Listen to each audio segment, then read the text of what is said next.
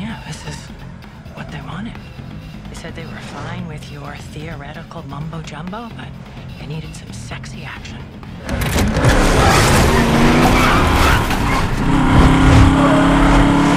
Who said? The marketing people. Marketing? I thought we were supposed to have total creative control. Welcome to the Matrix.